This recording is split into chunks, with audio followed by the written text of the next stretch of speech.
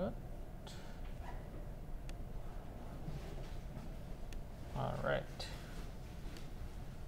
Yes, we were asking what to do. For, what about the final? It's on 15 December, right? You, you already saw that. And the, the focus is definitely on the, the new material uh, after after the midterm, but certainly you will need the, the basic stuff too, right? So yeah, I posted yesterday the PageRank, so that should be relatively straightforward. Just implement what we talked about on Monday. For I gave you like a sparse Google, no, sparse link matrix.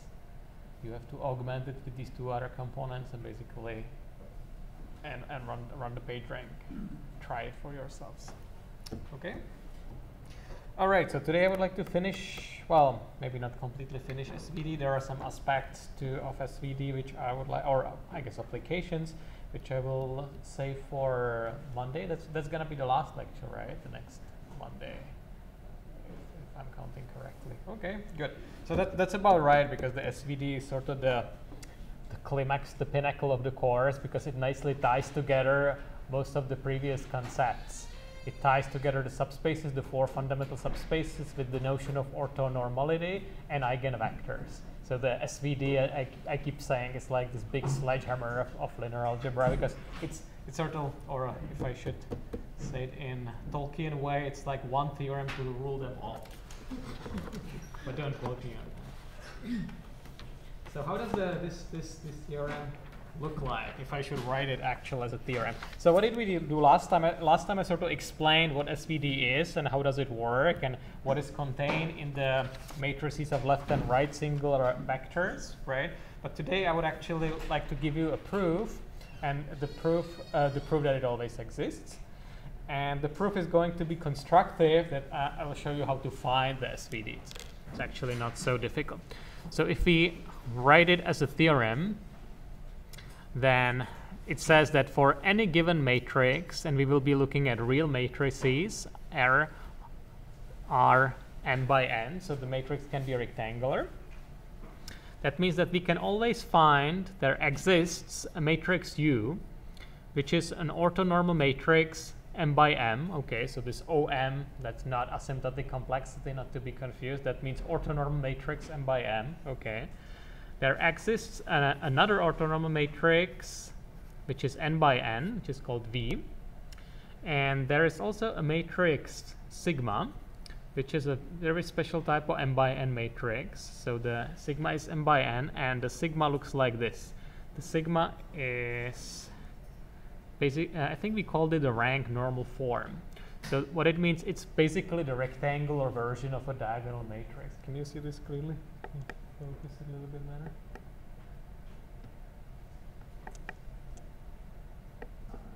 Yeah, the projector does not have as good contrast as I would be hoping for. Are you okay with that, or would you like me to switch up the lights? Is it good? Okay. So the sigma is basically like a rectangular generalization of a diagonal matrix, or I think we call it also rank normal form. So it has zeros almost everywhere except for this R, bar, R by R submatrix, which is diagonal. Okay, so everywhere else are zeros. And these numbers are real. And moreover, we also can assume that they are ordered. So that the sigma 1 is the largest one, and then they are uh, not strictly decreasing up to sigma r. That's the last non-zero one. And after the uh, sigma r that they are there. If you, if you would continue on the diagonal, you would just see zeros, okay?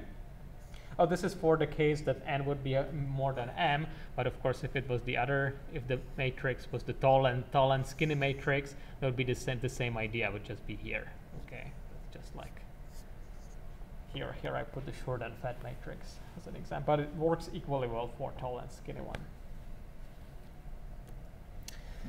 So the theorem says that for any given matrix A, there exists U and V, which are orthonormal, and the sigma, which is base, which is the rank normal form matrix. Oh, uh, I should have said what this R is. This R, the R is the rank of A,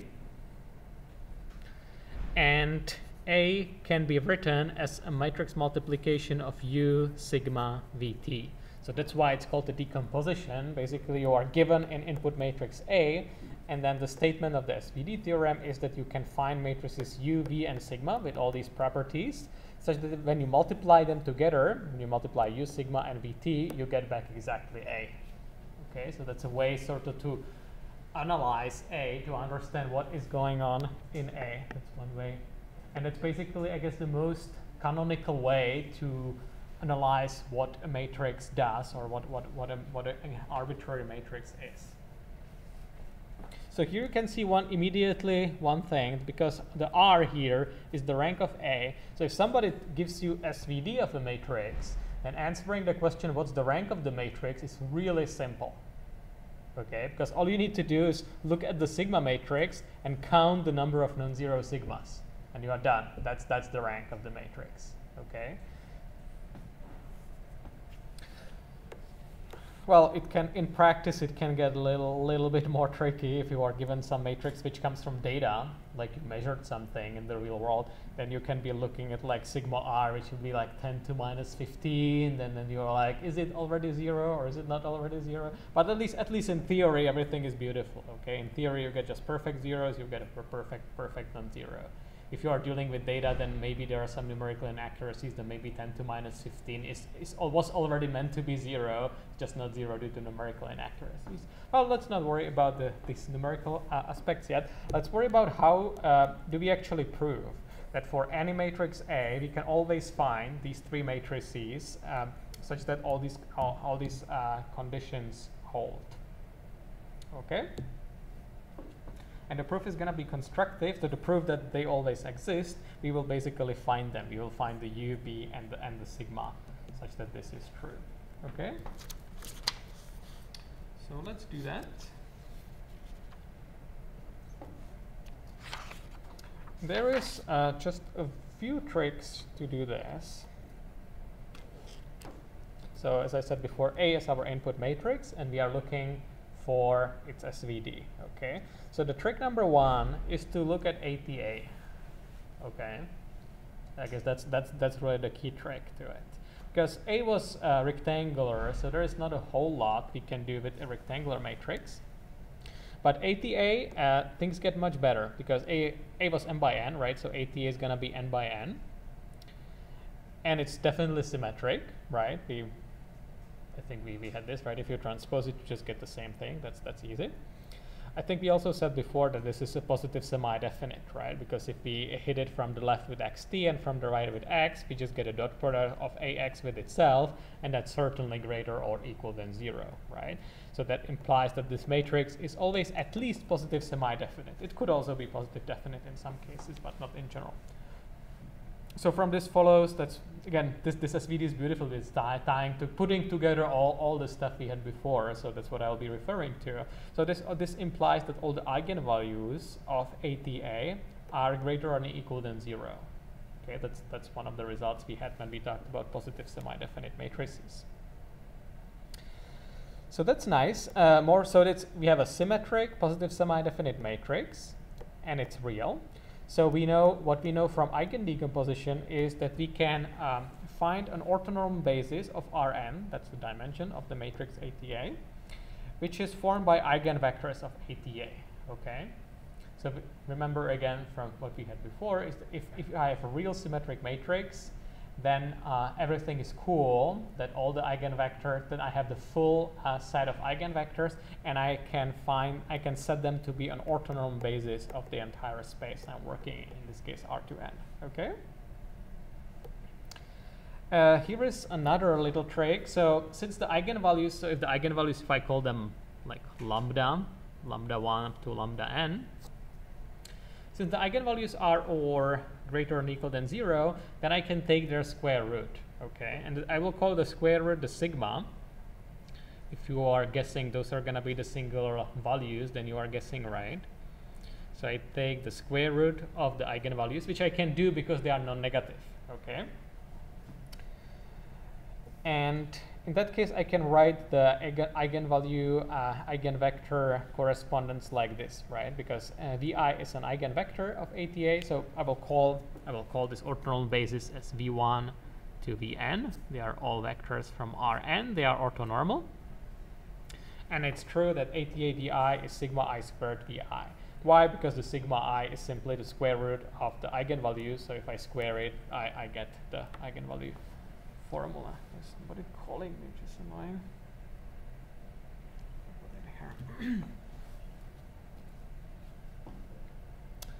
okay. Yeah, that this is basically what I just said uh, in text.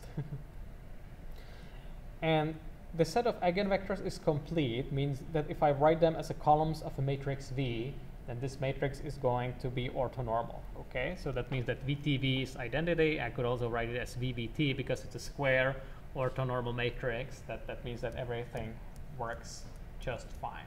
Okay. And then this uh, this is basically how we get the right singular vectors. But um, Guess before I explain this, let's take a look at the null space of A. Okay.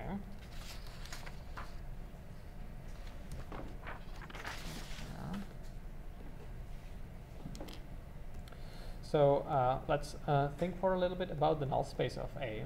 So one thing I think we also had before is that the null space of A and ATA are exactly the same. Remember this?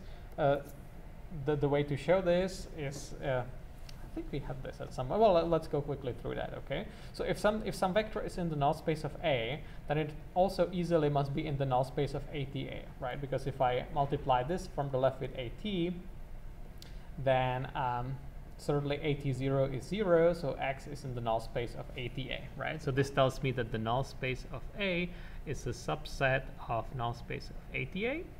And the other way around, if something is the null space of ATA,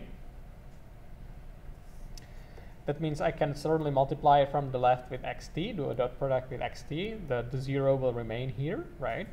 And what is this? This is just a dot product of ax with itself, the no squared norm of ax. Okay, so that means that the square norm of ax is 0, but that's only possible if ax itself is 0, right? And if, if ax was anything non-zero in the norm, that will immediately give me a non-zero uh, result, right? So this, this shows that if I go the other way, if I take the null space of ATA, that will be a subspace of NA. And because both of these in inclusions work, that doesn't leave any other uh, conclusion that NA must be equal to N ATA, okay? So the null spaces are the same. So basically that's sort of one way to justify why it makes sense to be looking at ATA instead of on A, okay?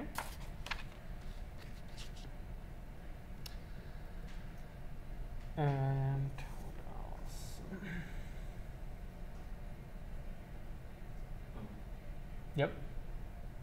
Um, the, the, the terms that you, the inequalities that you wrote down at the inequality null space of A is uh, always equal or less than null space Oh, it's not, it means like a set inclusion. That's one is like oh, subset of other. So the null spaces are subspaces, okay? Oh, so they have to be equal to one another. Yes, yes, yes. Okay, let, let, let, let me let me write it there as a conclusion, I guess. So if, if you if you put these together, this implies that NA equals NATA. Yeah. Uh, yeah. Before the first What's that? I think I, uh, I, I think we had this before. It's it's it's fairly simple. what we need is here because we are we are basically what we are doing. We are analyzing A by looking at ATA. So we are justifying the basically that makes sense because a, a lot of properties of A we can read from ATA. That's I guess sort of like the interpretation, if you will. Okay.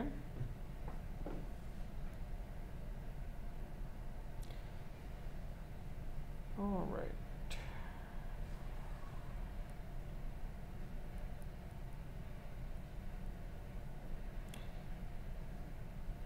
Uh -huh. So this tells us, um, so uh, what we did here, we took the eigenvectors of ATA, okay, and what I'm saying is that the, if I, so remember R was the rank, so let me write it here, R is the rank of, of A, okay, what, whatever that is, And here what I'm saying is if, if I take the the remaining n minus r of them, vr plus 1 and so on up to vn, okay, then these vectors are certainly all in the null space of A, okay, because why? Because they are the vectors, uh, they're the eigenvectors that correspond to zero eigenvalues, okay, because the matrix has rank R, after I run out of the non-zero eigenvalues, all of them must be zero, okay. So that means that these, all these vectors have to be in the null space of ATA, but that's the same as the null space of A, okay. That's, that's what we have just, that's what we have just shown here. Uh, we also know from the four fundamental subspaces, we also know that the dimension of NA is n minus r, okay? But here we have n minus r orthonormal vectors, okay? So that means these guys, they have to be an orthonormal basis for the null space, okay? So these, I guess I could, this, this, this splits somewhere wherever I have, um, wherever I have my VR, somewhere here will be VR plus 1, right? Here will be VR. So these last ones are, let me write it here, VR plus 1 up to vn are orthonormal bases for the null space of A. And, and this is why.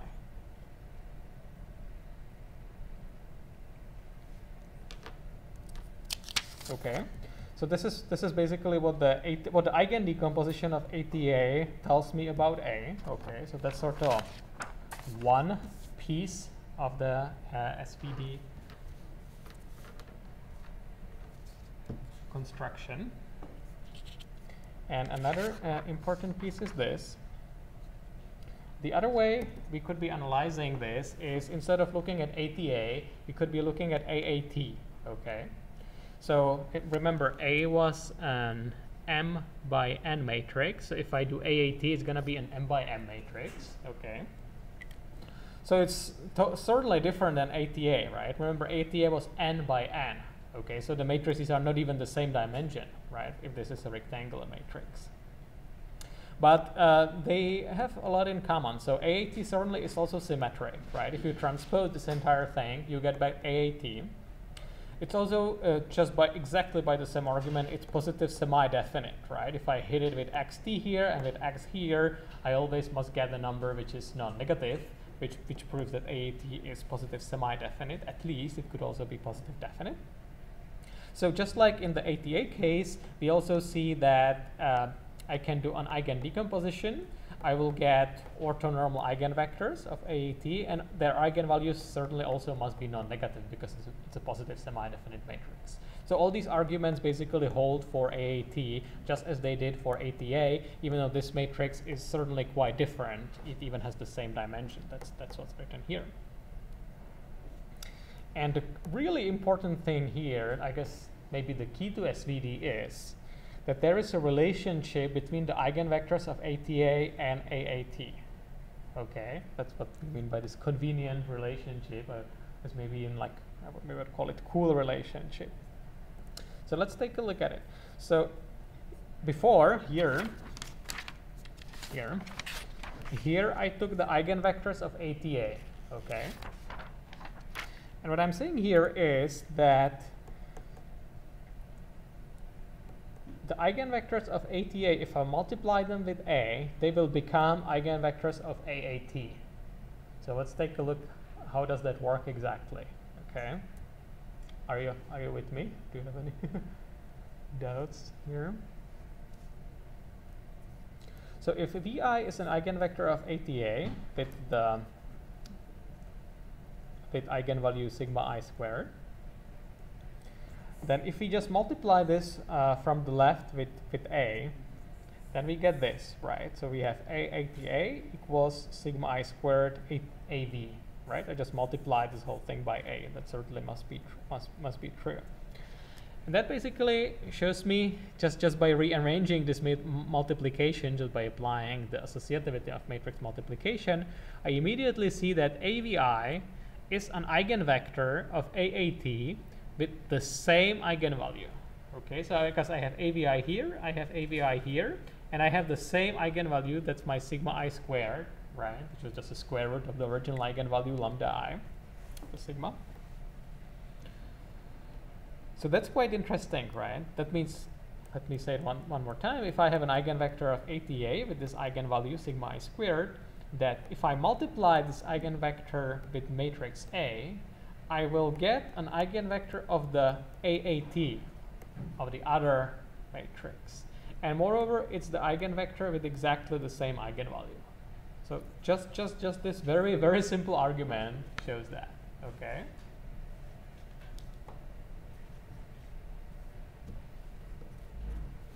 So let's take a look. Um, so I guess the, the remaining part is to basically couple the things, the, these two things together, okay? So again, because AAT is a real symmetric, positive semi-definite even, then I can uh, write its eigendecomposition. So let's call all the eigenvectors of AAT as U, okay? You can start seeing this, those will be the SVD matrices crystallizing there. So it's an orthonormal matrix. It's a square orthonormal matrix, right? So UTU is identity. I could also do UUT. That would also be identity because it's square. It doesn't matter which way I go, if I go on rows or columns, okay? And here is the thing. Uh, the U's are in relationship with the AVIs. Okay, that's that's that's that's what we hinted at here. If I that the eigenvalue eigen sorry eigenvectors of AAT are just the eigenvectors of ATA that they are uh, mul multiplied by A. Okay, so the U's must be also somehow closely related to AVI. And basically, the, the answer is that the U's are related to AVI up to scale. Okay, so I guess let's first look at what is the square norm of AVI. Okay. So the square norm of AVI, well, that's that's easy enough to figure out. That's VI transpose A transpose AVI, right? But we know that VI is an eigenvector of ATA. That's how we started, right? So that means that ATA VI is sigma i squared VI. Sigma is just a scalar, so we can put it outside. And VI, that was an orthonormal vector. Okay, so that means that the norm of VI is 1. Okay, so this is just 1. So I'm just left with sigma i squared. So that means that the length of AVI is just sigma i. Okay. And that means that because because of this relationship, me show this uh, one more time here. Because of this relationship, the AVI are basically almost uh, equivalent to the vectors u up to the scale. Or I guess better said is I can order, because uh, the eigendecomposition could be ordered in any way I want, but um, I can order the u's so that they correspond to the eigenvector v's. Okay. And they are they are equal up to the scale because the scale of AVI is sigma. All I need to do uh, to make this equal is to scale this by sigma i. Okay.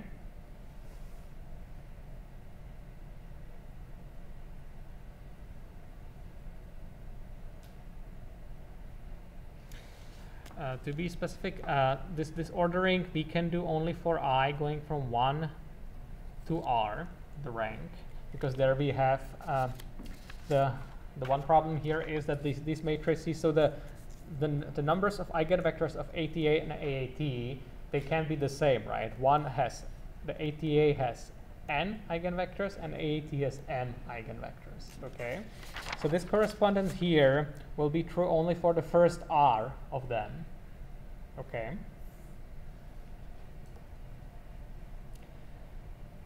Or in other words, for the first r of them, I can write an ordering of the matrix U such that the U vectors correspond to the V vectors. And that's, again, that's because of this relationship. Okay, I'm just trying to explain it. It's, it's a little, little bit tricky. I'm just trying to explain as best I, as best I can.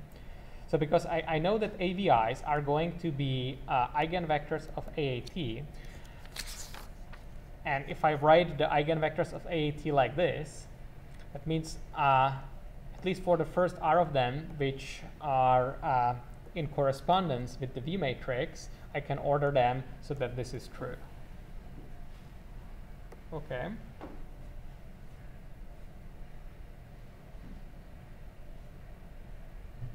And what's happening here is that the, the u's are, th those are the left singular vectors we are looking for, and the v's are the right singular vectors. And the sigmas, uh, those are the singular values. The sigma is, that's what we had here, that's the square root of the eigenvalue, or that's the eigenvalue of ATA or equivalent equivalently AAT.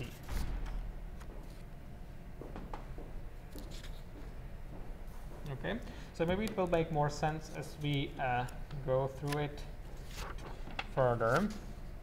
So once we have done this, um, we can look at A in a different way.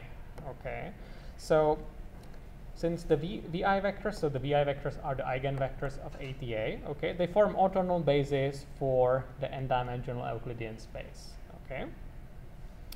So what we can do, we can write any vector from Rn. Let's take some vector x from Rn. And let's write it in terms of um, coefficients with respect to the basis v.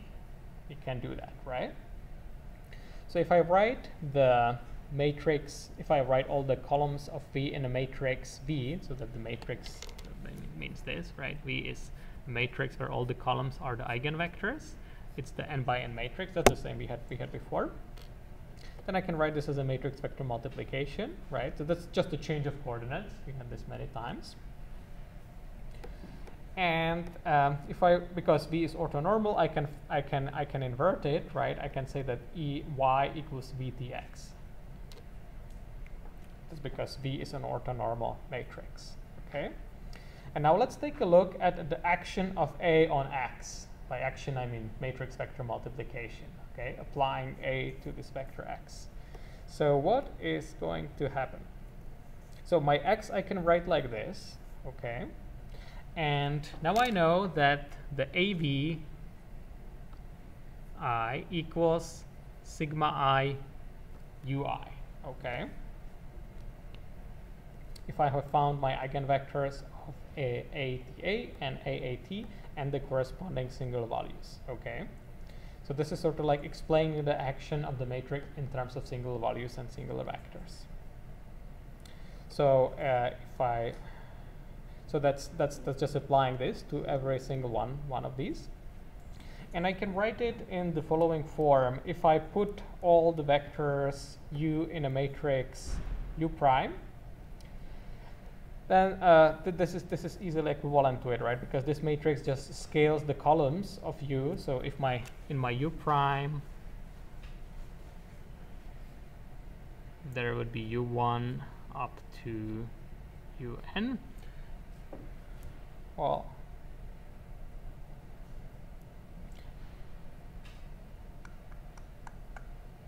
and those would be my uh, singular values here. So why there is, let's see if I'm missing something.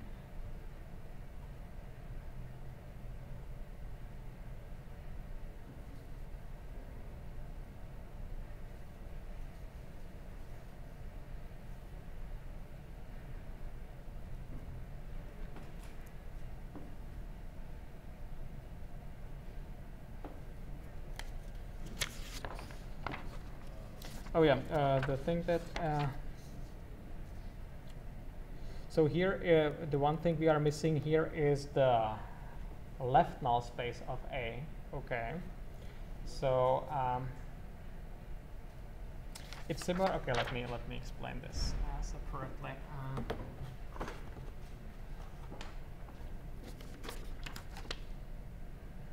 when we were looking at the eigen decomposition of AAT, then we can do similar thing uh, as we did before with V. Okay, maybe let me let me recall first at this thing. When we are looking at the remember when we are looking at the null space of A, we realized that the eigenvectors of ATA, the V vectors, the last n minus r from them, they form an orthonormal basis for the null space of A. Okay, we can uh, similarly argue about the left null space of A by looking at the last m minus r vectors here. Okay, so let's take a look at it. So if I take the u r plus 1, so I'm looking at these, so those are the eigenvectors of AAT, and I look at the last m minus r of them. Okay, uh, so first, first thing we can realize is they are elements of the left null space of A, so the null space of A transpose. Okay, why is that true? Well, that's that's that's easy enough to see because um, remember R is the rank of the matrix. Okay, so after the rank, all the eigenvalues are zero. Okay, so that means the the UIs were eigenvalues, uh, sorry, eigenvectors of AAT. Okay, so AAT uh, UI for i going from r plus 1 to m has to be 0. Okay, that's because I'm already beyond the rank. So all, all, all the remaining eigenvalues must be 0. Okay. And again, by a similar argument, again, it's also true that the null space of AAT is equivalent to the null space of AT. I guess I can just show this directly here. So if I if I know this, I can I can hit it from the left with UI transpose, and I will get this right, which is nothing but the square norm of AT UI. Okay. And that has to be zero. Well, that's only possible if AT UI is zero, which means that UI is from the left null space of A. Okay. Again, from the four fundamental subspaces, we know that the dimension of the left null space is m minus r. Okay, and what we have here is m minus r orthonormal vectors. So that's perfect. That means that, again, these guys are exactly on orthonormal basis of the left null space.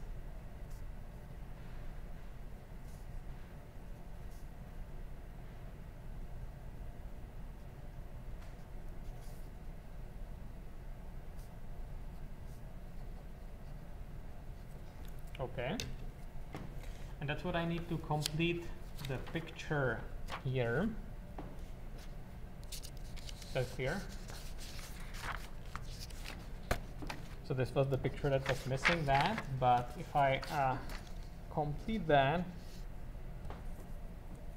so here the U is the U with all of them going from 1 to n, so in including the basis for the left null space, and the V includes the basis for the null space, okay? So, um, you know what's gonna be better? I am going to draw this graphically. That will probably be nicer So keep it here.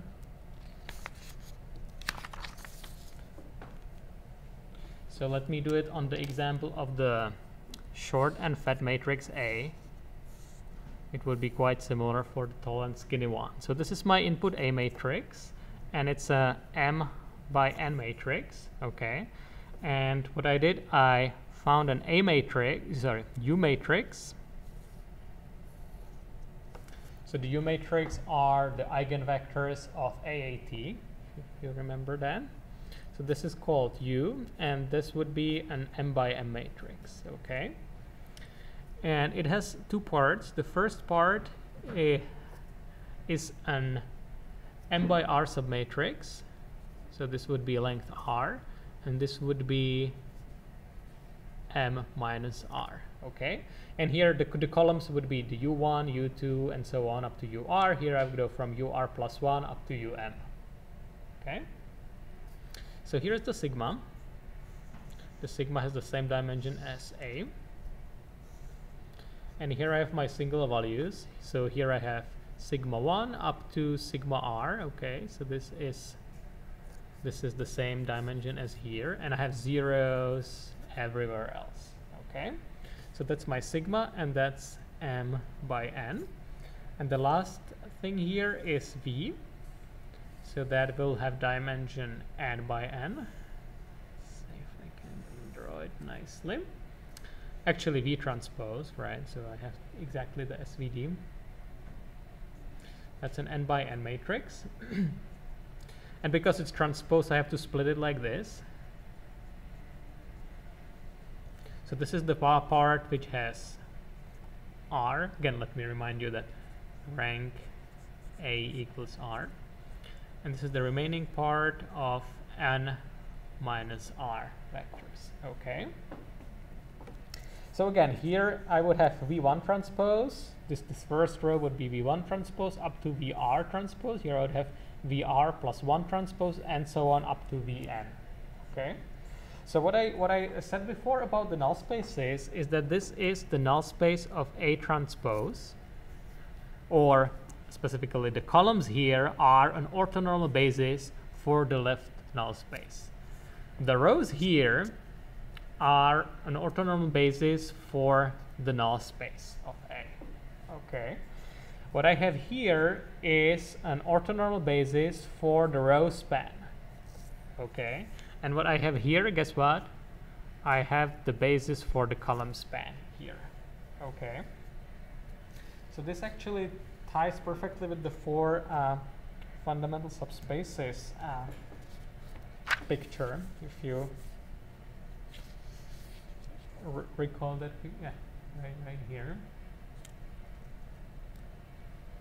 Already explaining this picture a few times, but um, what we see here is that in the SVD we have exactly the orthonormal bases for all these four fundamental subspaces. Okay, so the column span column space of A is in the U matrix, and the null space is its orthogonal complement. And here I have U is an orthonormal matrix. Okay, so here I have orthonormal bases for both of these subspaces. Okay, the same thing uh, goes on in the V matrix. So here I have the column, uh, the row span, and null space. Okay. Maybe let me uh, just uh, convince you quickly what happens if I take let's just let's just play with it a little bit if I take some vector which is in the span of the vectors vr plus 1 to vn okay? So let's see. If I take so those would be the rows of vt here okay? So that means I'm taking something from the null space of A. So how can I see from the SVD that it's indeed in the null space of A? So if I take something, uh, some vector x like this, what, what is going to be vtx? What do you think? If I take a vector which is a linear combination of these n minus r last rows of vt. Zero. Well, it's gonna be zero for some part, right? So certainly if, if I'm taking, it's, it's an orthonormal matrix, right? So here indeed, the first R will be zeros, okay? The first R coefficients will be zeros. The remaining ones, they don't have to be. They will be actually exactly the coordinates. They'll be exactly the coefficients uh, with respect to this basis, okay? So they might not, they might not be zero, the remaining n minus R components, okay? But let's see if I now multiply with sigma, what, what's going to happen? The sigma has non-zeros only in the first r columns, okay? And the remaining n minus r columns, they are completely zero, okay? So at the moment, as, or as soon as I do sigma vtx, I get completely zero, okay? And since this is already zero, then also, of course, this is going to be 0 as well, but this is this is a, right? So that means that ax 0. So indeed, if I take a linear combination of these vectors, I get something that's in the null space. I guess you, basically the point here is that you can see directly from the SVD. Okay? The same way you can see that if you take, let's say y, which will be from the span of the last u, u last m uh, minus r vectors of the U matrix so the span of u r plus 1 up to um. By exactly the same argument, you can see that y transpose A is going to be 0, right? Because again, they are orthonormal vectors. So here I will have to hit zeros. Here I will have to get non-zeros. But after I multiply with sigma, it's all going to be zero. So indeed, like directly from the SVD, just because the sigma has zeros everywhere else. Okay.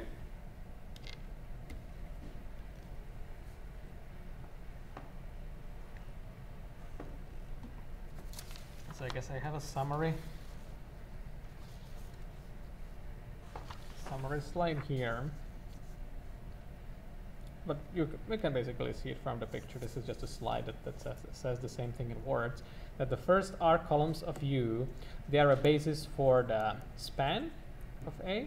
The first R vectors of fir- first R row vectors of VT, equivalently first R uh, columns of V, they are an orthonormal basis for the row space and these would be the orthonormal basis for the left null space and for uh, the null space. So basically that's that's the whole point of SVD. It gives you a convenient description of the action of the matrix. Essentially explains the entire matrix in a very convenient way. By the way, the null spaces, as you can see, since they are zeros, the null spaces essentially are not doing anything in terms of explaining the matrix A. Okay, I would basically wouldn't even have to have them there. So indeed, this is actually, so there are several flavors of SVD. This is sometimes called the full SVD because you have everything in it, okay? But if you are only interested in explaining the matrix A, for example, if your matrix A are data and you just care about explaining your data and you don't really care about the null spaces, that, that might easily be the case, right? If you're doing some statistic or something, then you can do a reduced SVD. Basically, you can trim away the fat, you can trim away the null spaces, okay? So you can write a decomposition which is also going to be correct in the sense that the matrix product will recover the original matrix. Let me make sure I get the dimensions right. This is the R transpose. So what I did here, I discarded this piece here. I discarded all the zeros from sigma and I discarded the last uh, n minus r rows of vt. Okay, so what I got here was an m by r matrix, which are called ur, r like reduced or r like the rank. This would be r by r matrix sigma, and this would be r by n matrix. Okay, so everything is still cool because it's still true that a equals ur sigma r vr transpose, basically because the zeros were not doing anything in terms of reconstructing the matrix A. Okay, like I said, this will be very uh, obvious in a second when I when I explain the connection to outer products, the sum of outer products. So this is sometimes called a compact or reduced SVD. The nice thing, the useful thing about this is that here the sigma r becomes invertible right? Because all the zeros I took away. So the sigma r is a diagonal, and all the elements in the diagonal matrix are, uh, all the elements on the diagonal are strictly positive, which means that I can actually invert sigma r. That would be one way uh, how you could compute the pseudo inverse, by the way.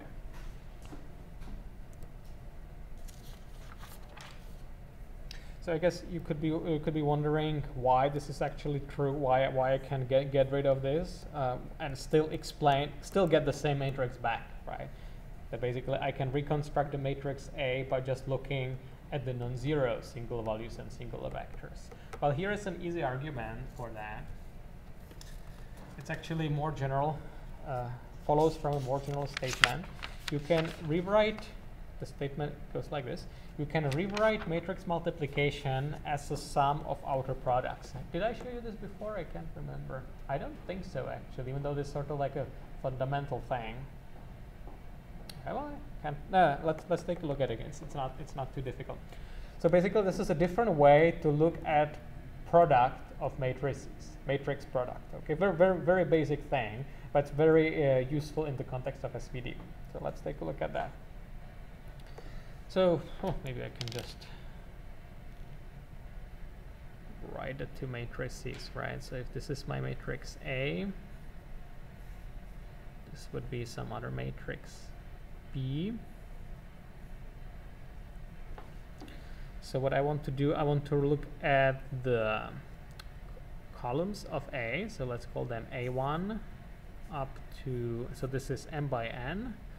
This is N by K. So this would be up to AN, okay? And I'll look at the rows of the B matrix. So they will be B1 up to Bn. And what I'm saying is that the product of the two matrices can be written as the sum of the outer products of the individual rows, uh, sorry, columns and rows, okay? So why is that true? It, that's basically simple. It's basically just a rearranging uh, the summations that go into a matrix a matrix product, okay? So let's take a look at that. So what is the element in the product of matrices AB at row I and column J? Well, you should all know this. This is the sum of AIL times BLJ. Okay. That's, I'm just going like 20 lectures back when we were talking about matrix matrix products, okay? Just, just to show this, this formula which is important for SVD. Well, and let's take a look at the, this, this sum of outer products I don't have to be reminding you what is outer product, I hope. I was already saying this multiple times. So that, that's this funny rank 1 matrix, right? So this would be sum from 1 to n, and this would, so this is, this is the sum of outer products, this uh, AL, BL transpose. And if I want to look what is the element in row I and column J, then what does it mean? So, so this will create I guess maybe I can write it here. So this will give me some uh, product which will look like m by k, something like this, okay? And if I look, or here, if I take the ith row and jth column, then it means that what I'm summing here is I'm summing a, I just need to get the indices right. So that would be a row I, L, and here B, and here I would be looking at column number J. Okay?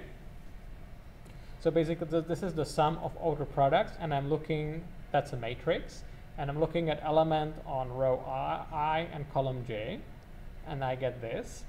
And if I look at the i and j element of the matrix product, I get this. But these two things are exactly the same. Okay?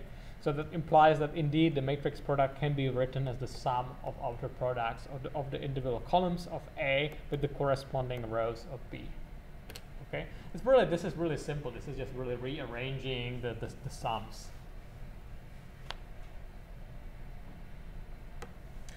So why is that important in SVD? Well, it's because if you have the singular value decomposition,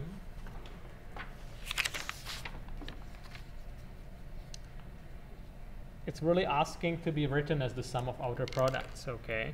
So if I if I know that A equals U sigma VT, okay?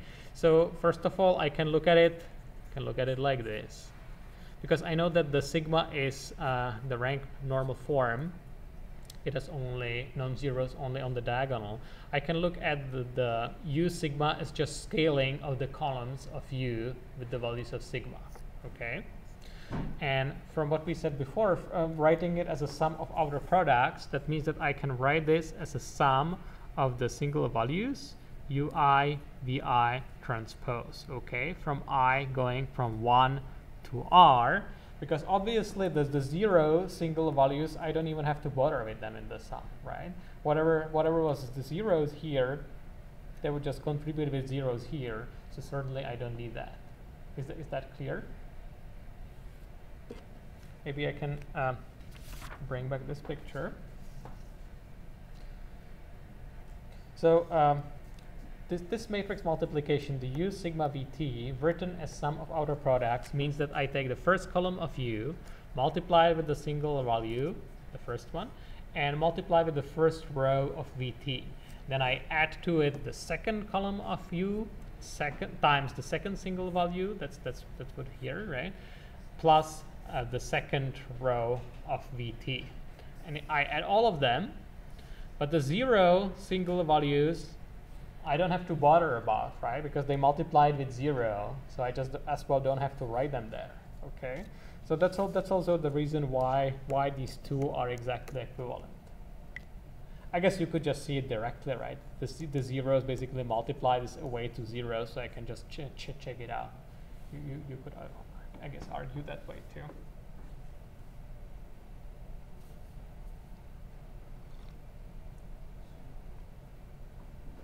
Any question?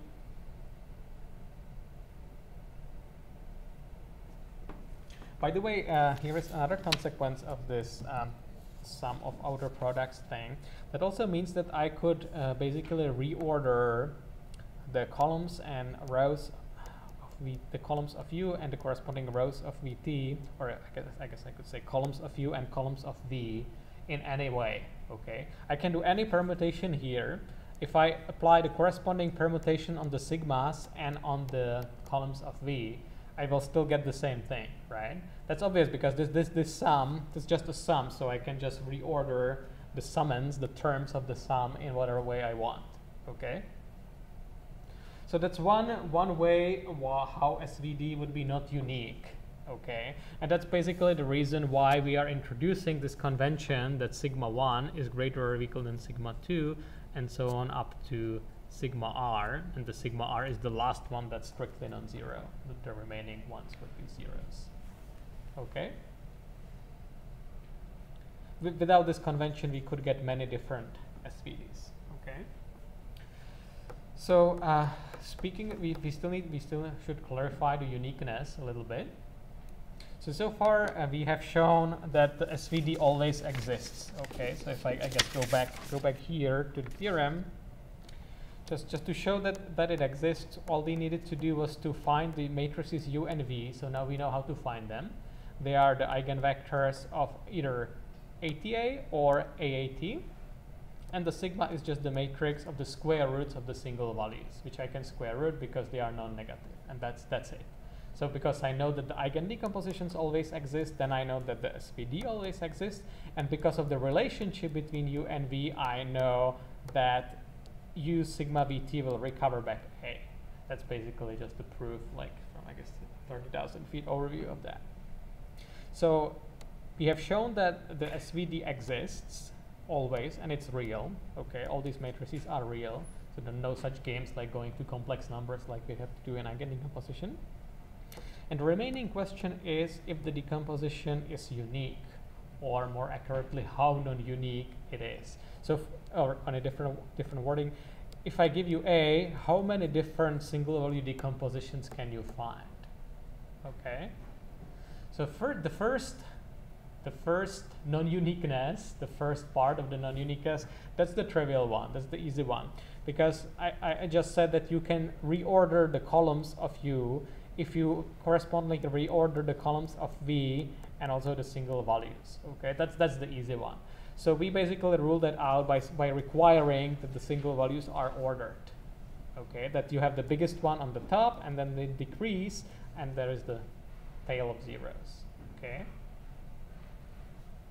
So that that's this non-uniqueness we have already taken care of by imposing this condition.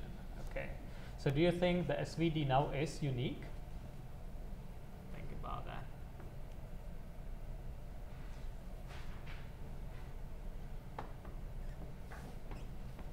Yeah, I guess that's a cool that's a cool thing to think about.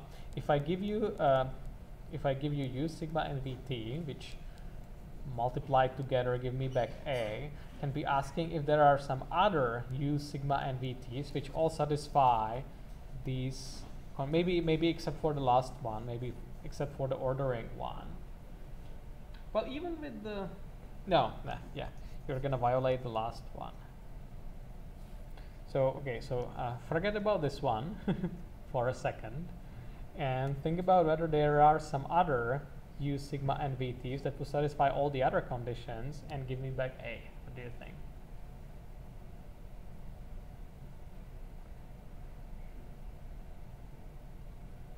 there is a, a hint is to look again at this sum of outer products.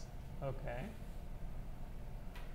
Well, actually, no, no, no. Actually, this one, you can still keep this one around and find another SVD of the same matrix. Yeah. So I'm, I'm saying uh, for any matrix, you can find several SVD decompositions. So the SVD is actually not unique. And I would like you to think of one simple example.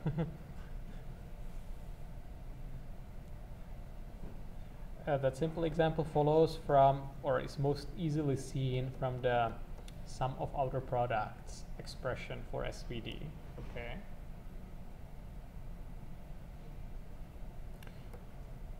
So here is here is how it works. You can pick pick any um, i, for example, i equal one, okay, and just just flip the sign.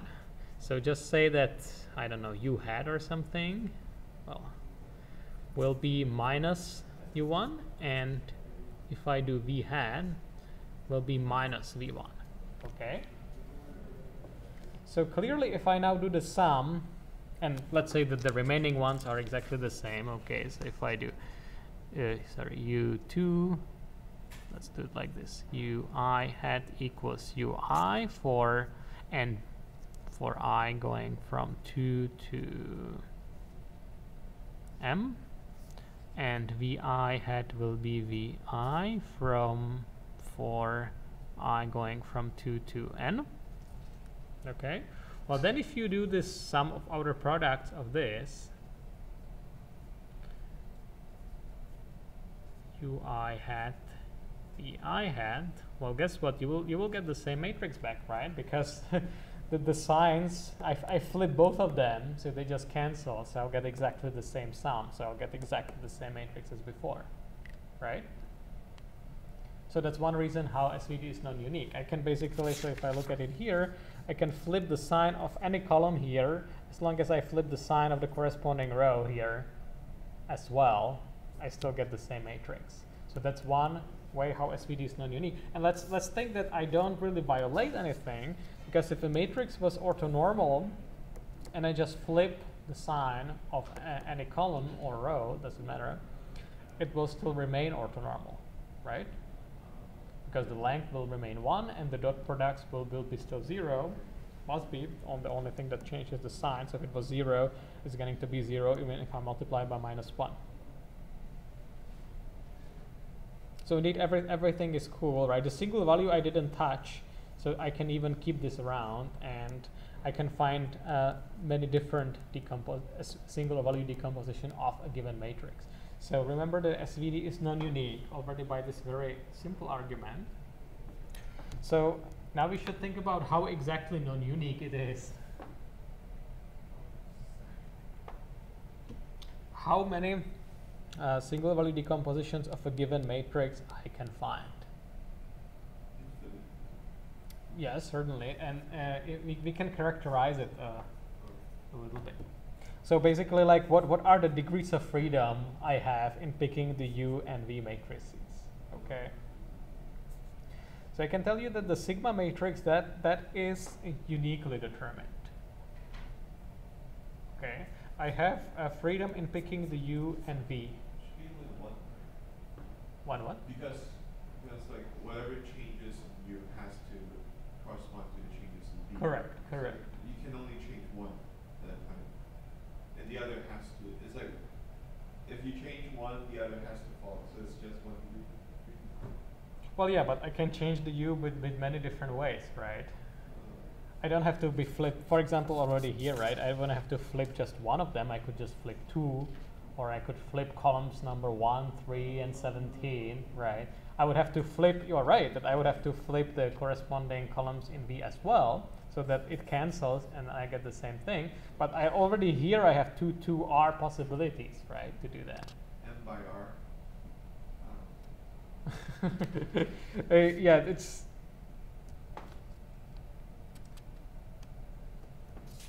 Okay, it's it's. Well, uh, like may- maybe maybe degrees of freedom is the wrong way to think about. the right way to think about is in terms of subspaces to, to really understand that. So the first thing you can realize is that the orthonormal basis for the left null space and for the null space, I can pick any orthonormal basis there, and the SVD will still be perfectly valid okay? Because as far as the reconstruction of the matrix is concerned, these vectors, they just fall out. They get multiplied by zeros, okay? So I can pick whatever orthonormal basis I please for the left null space and for the right null space. But here they don't even have to correspond, right? I can, because I can, I can rotate these vectors with any matrix I want. I can rotate this with arbitrary any other matrix, and the SVD will still hold, right? Maybe let me explain this a little bit better. Maybe here. So in general, if I take a matrix B, which has orthonormal columns,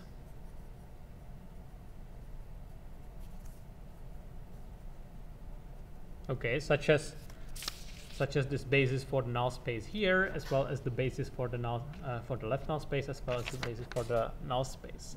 So that means that BTB is identity, right? Well, I can create an any other orthonormal, any other orthonormal basis which spans exactly the same, which generates exactly the same subspace, simply by taking QB, where Q is an orthonormal matrix. I guess if, if B was, I guess M so let's say that B was m by k. So Q will be an orthonormal matrix m by m. Okay, and certainly if I do QB, then then it still has orthonormal columns, the the entire product. Because if I do BT QT QB, then this thing is identity because Q was orthonormal. So that means this is just BTB, but that was identity, right? So certainly QB also has orthonormal columns.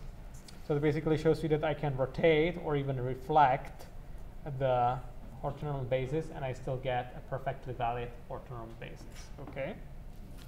So those are like, I don't want to say like degrees of freedom. Those are like the, well, they are degrees of freedom if you want to think about it that way. You can, you can pick these bases in any way you want. So that's one part of it, okay? But that's the part that sort of doesn't matter, right? That here, here it even falls out, okay? So how, how, how, what is the deal with the uniqueness of the reduced SVD? So here we already discarded the null spaces. So how is this unique or non-unique? Let's, let's think about that. We already know that we can flip the signs, right? The corresponding signs in the rows and columns, uh, in the columns of UR and the columns of VR.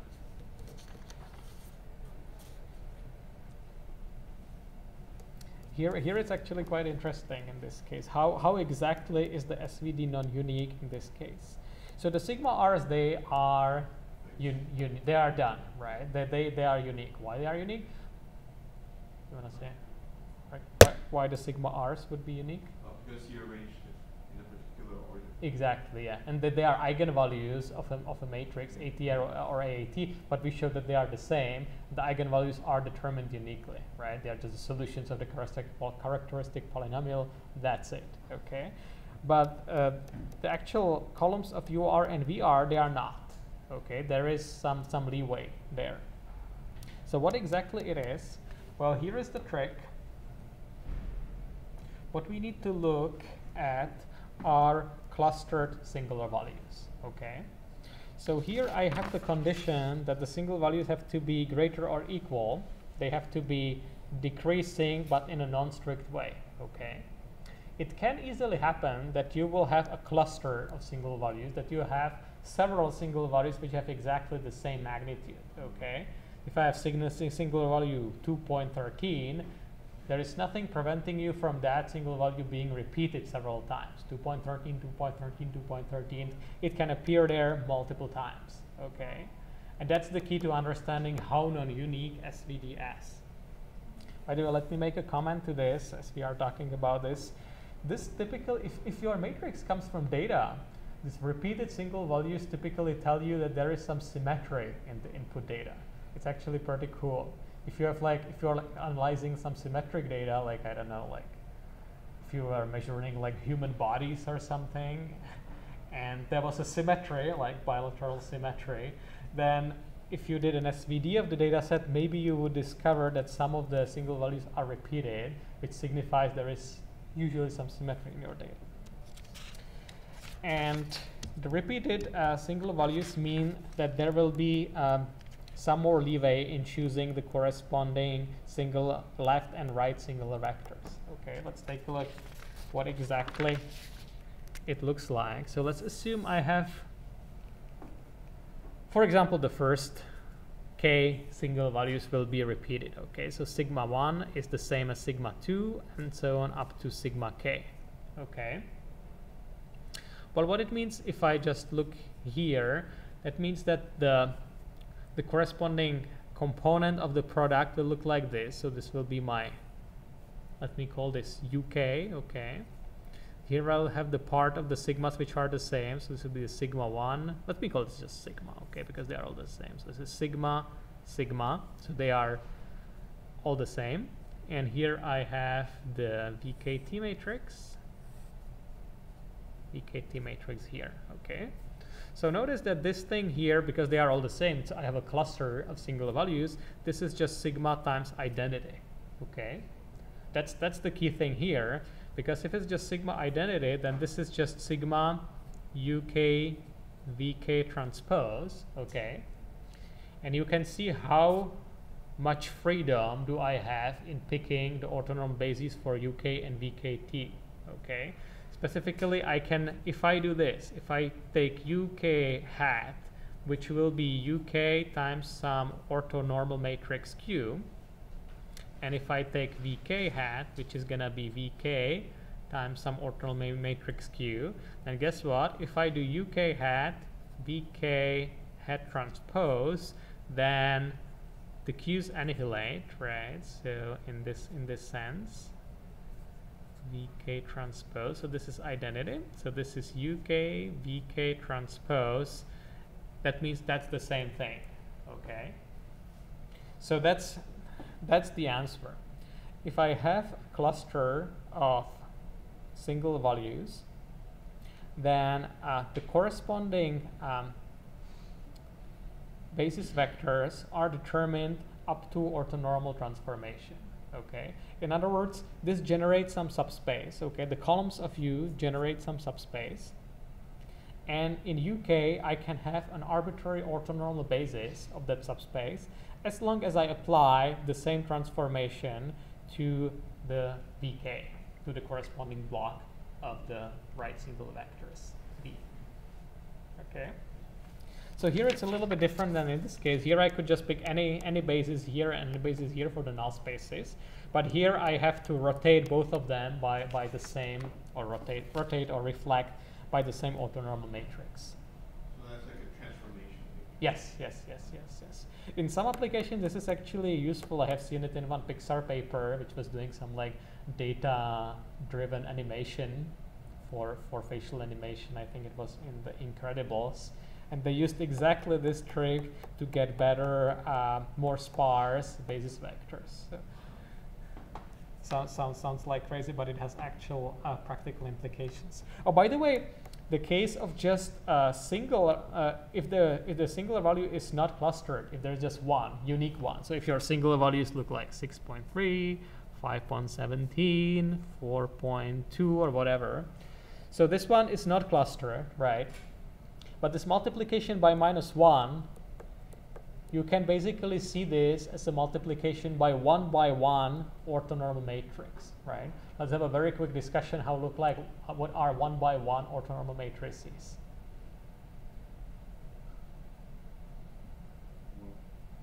One by one matrix, right? That's the simplest case of a matrix. And if I'm asking you what all what what I can't even say it's so simple. I want to see how all what are all one by one orthonormal matrices? There's one, and there is all the numbers. No, no, no. So what, what is the definition of an orthonormal matrix? The length must be 1 and the individual columns and rows must be orthogonal, right? If, if I have a 1 by 1 matrix, I have just one row and one column, so nothing, negative 1 exactly, nothing to be orthogonal. So I just am looking for a number such that the length of the number is 1, right? There are two of them, there is plus 1 and minus 1, okay? So I'm saying this basically, this is just, this also applies to the case when they are actually not clustered, when there is just one. I can still multiply by one by one orthonormal matrix. Okay, that's, that's exactly the same idea. When, when, it, when it happens to be a cluster, then I actually have more freedom, right? Then I can, for example, be applying rotations. If it's just a single, unique, non-clustered singular value, that I can only multiply the corresponding uh, left and right singular vectors by plus or minus 1.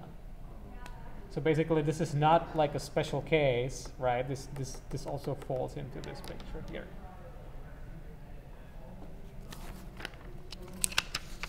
Okay, so I believe now I confused everyone. so I think that's a good time to do an example. Or like a simpler, I guess I will not do a full example. I will just do an easier case. Let's take a look. Uh, no, this is what I'm going to do. I'm going to do a geometric interpretation for a 2 by 2 case, okay? What does the SVD mean uh, intuitively or geometrically? And I will assume that A is invertible to make it even easier, so we don't have to bother about all the null spaces. So that means that the rank is 2, okay?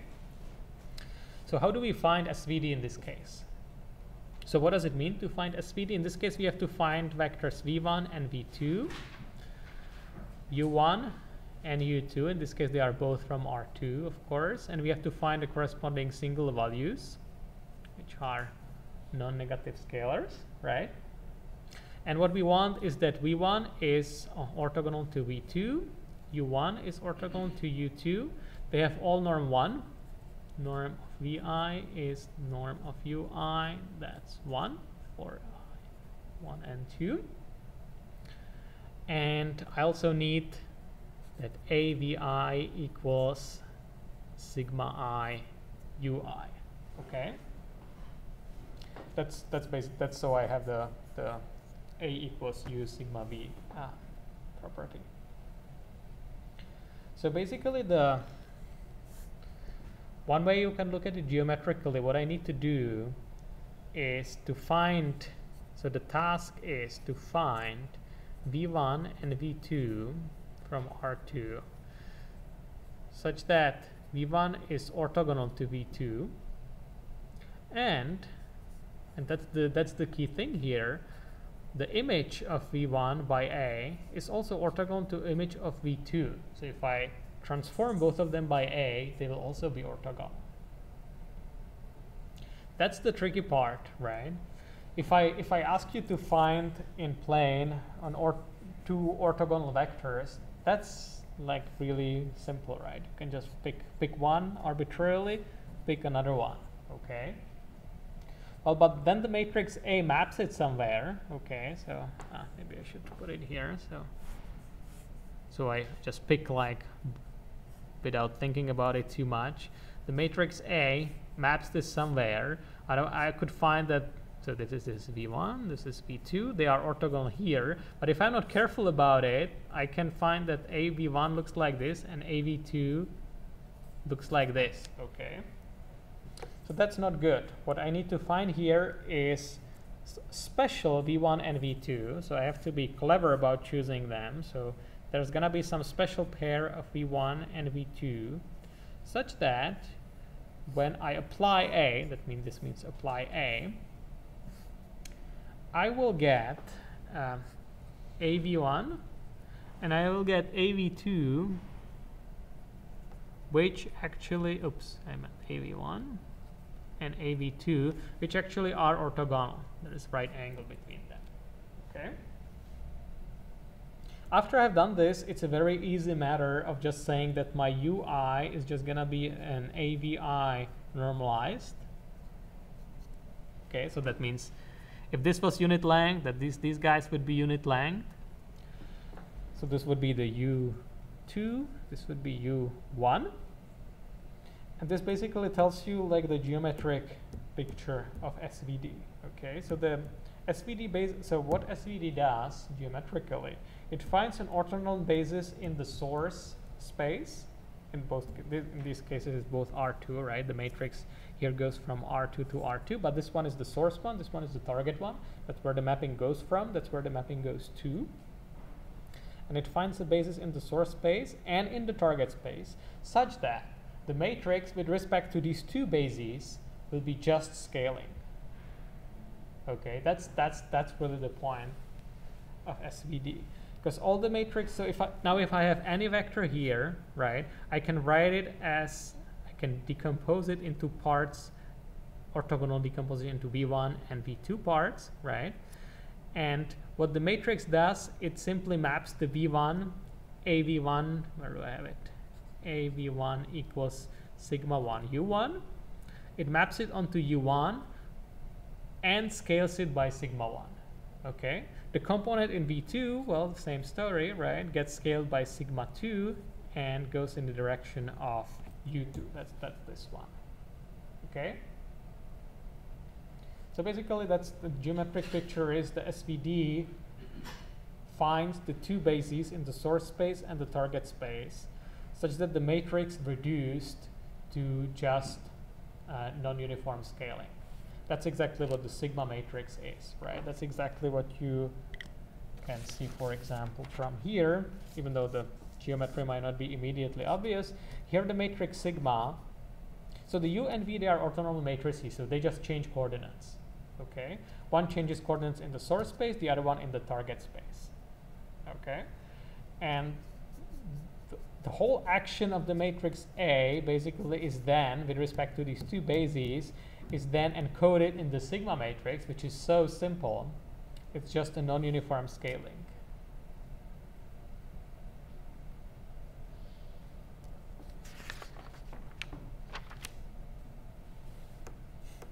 And again, maybe we can do it the next time, or if you are interested, we can just walk through the 2D example, how to find the U and V matrices there's also like an easy numerical example we can we can just do.